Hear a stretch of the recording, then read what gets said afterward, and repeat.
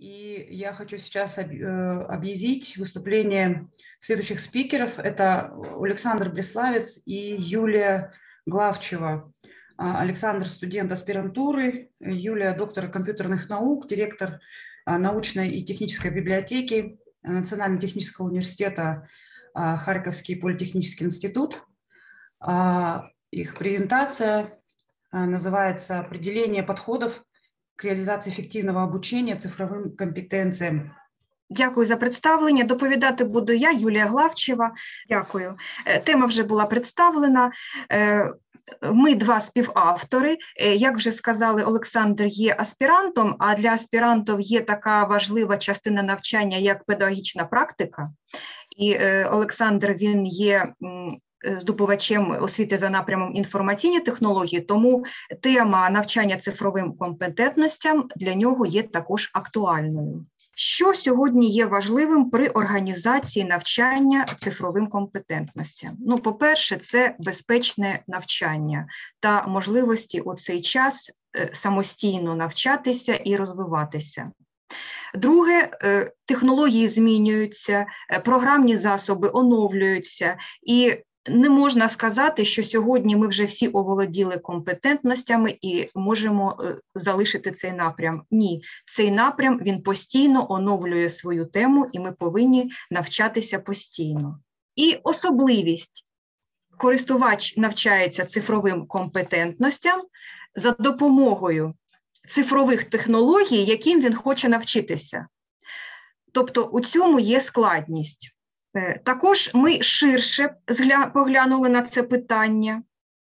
І до ефективності навчання ми додали другу задачу це залучення більшої кількості користувачів, яка теж є важливою. Таким чином, у нас з'явилася дорожня карта користувача, е, яка включає кроки від розуміння читачем необхідності навчання цифровим компетенціям до їх якісного застосування. Це сім кроків. Перше, це власне розуміння, що потрібно навчатися. Друге мотивація, навіщо це саме мені потрібно. Третє це доступність навчання. Четверте комфортне навчання. П'яте допомога в процесі навчання, успішне завершення курсу, якісне застосування навичок, і також у нас з'являється цикл, тому що ми навчаємося it технологіям постійно. Розглянемо детальніше ці кроки. Перше розуміння необхідності навчання. Е, тут е, бібліотекарі мають пріоритет, тому що спілкуються з користувачами. Допомогти ідентифікувати е, напрям можна за допомогою консультації під час проведення консультації або при проведенні семінарів, семінарів ми звертаємо увагу, що саме ці навички вам дозволять виконувати певні дії, і ви зможете це робити самостійно, швидко і зручно. Тобто користувач ідентифікує, що йому потрібно, і він чітко розуміє, який результат він отримає після навчання, тобто він вже є мотивований.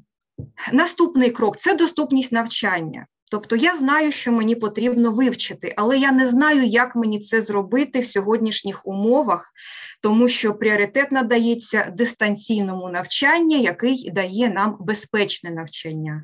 І тут важливо тривати, е, важливо знайти саме той курс, який допоможе оволодіти цими навичками.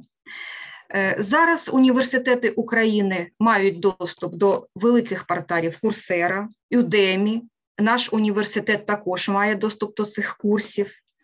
Е, в Україні є е, платформа велика Прометеус, Дія, на яких можна знайти ці курси, але е, такі загальні пошукові системи вони не надають можливості індексувати кожний курс окремо. Тому користувач зараз повинен шукати е, буквально на кожному порталі, а це і порталі університетів, той курс, який йому е, можливо знадобиться.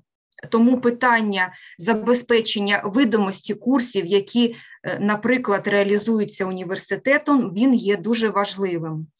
Четвертий крок це забезпечення комфортного навчання. Ми всі зараз е, працюємо і навчаємося одночасно, тобто така можливість є обов'язковою, на наш погляд. П'ятий крок, і на нашу думку, це нове. Ми будемо пробувати це реалізовувати. Це залучення ментора. Е, Олександр на своїх курсах є ментором, і за його таким практичним, практичним досвідом.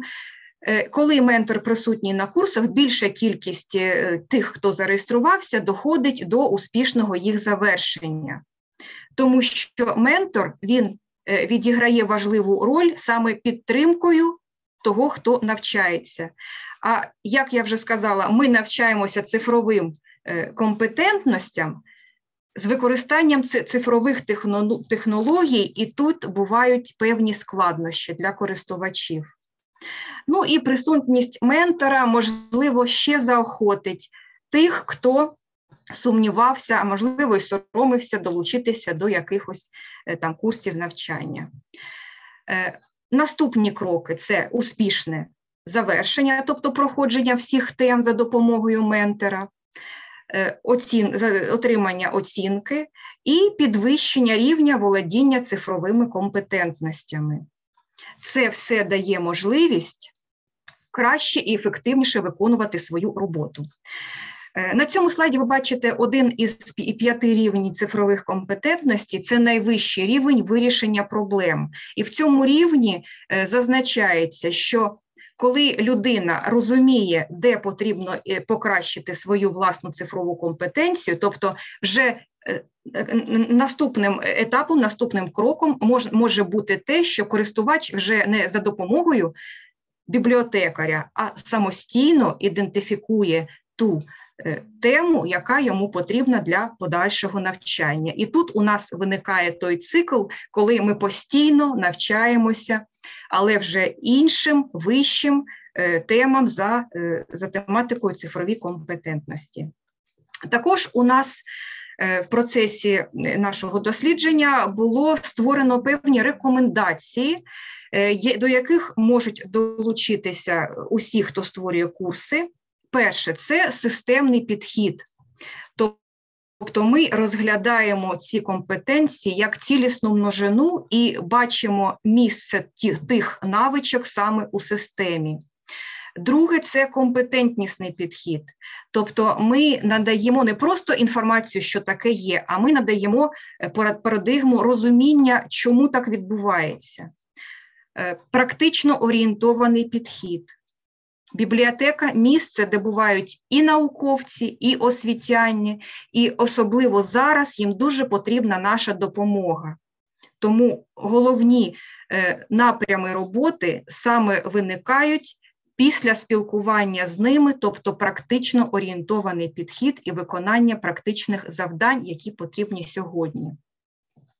Е, також до е, залучення менторів можуть бути перші ментори, можуть бути, звісно, це співробітники бібліотеки, е, а можуть бути і студенти, і аспіранти, у яких така практика може бути корисною. Оперативне оновлення важливий напрям, тому що все розвивається. Ну і підвищення рівня видимості тих курсів які пропонуються користувачам. Е, окреме місце у цьому всьому є для відкритих освітніх ресурсів, які вже є створені, які вже є доступні, і які ми можемо використовувати в рамках ліцензійних умов. Е, таким чином, е, на нашу думку, крім саме організації ефективного навчання є важливим питанням залучення більшості більшої кількості тих, хто бажає навчатися, тому що ми в цілому збільшимо е, рівень володіння цифровими компетентностями. Ми розглядаємо не окремо, не окремий крок, а Дорожню карту користувача і маємо таку думку, що бібліотека може долучатися буквально на кожному кроці для допомоги. І також е, саме користувач, маючи таку можливість, він зможе е, формувати свою індивідуальну навчальну траєкторію. Індивідуальна навчальна траєкторія зараз є е, такою необхідною при формуванні плану навчання, і до цієї індивідуальної навчальної траєкторії користувач зможе долучати також інші напрями у володіння цифровими компетентностями, які будуть саме для нього корисні, тобто його е, межі знань будуть розширюватися. Дякую за увагу. Я також, користуючись нагодою, хочу щиро подякувати Міжнародному організаційному комітетові, особисто Тетяні Олександрівні, щиро вклонитися вам всім за те, що в такі тяжкі умови ви змогли е, зібрати такий корисний, потужний захід До якого долучилися ми, і ми побачили сьогодні один одного, побачили, що бібліотеки працюють, вони є корисними, і так так і буде продовжуватися. Хочу побажати всім миру у житті в нашому і гармонії. Дякую. Спасибо большое за прекрасное выступление, очень актуальное в наше время, особенно вот после, а, после пандемии. Мы все, а, очень важно для нас всех развивать вот эти все цифровые компетенции, а, и библиотекари в первую очередь должны, на мой взгляд, быть проводниками этих компетенций для своих читателей, для пользователей. А, хочу также сказать, что для библиотеки Назарбаев университета тоже очень актуальная тема. А, и а, опять же повторюсь, что пандемия сыграла не последнюю роль в этом, что мы активно стараемся также развивать эти компетенции также как среди наших студентов, так и среди наших сотрудников. И одним из методов, которых мы используем, это просто использование большого количества цифровых сервисов в своей работе. То есть у наших пользователей нет другого выхода, как а, развивать свои собственные цифровые компетенции, а, чтобы быть э, с нами на одной волне.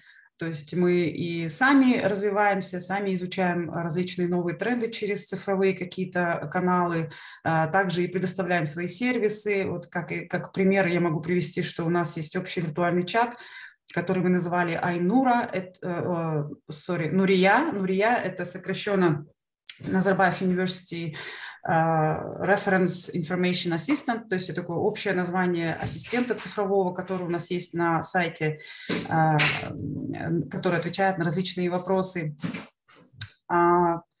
Спасибо большое за презентацию.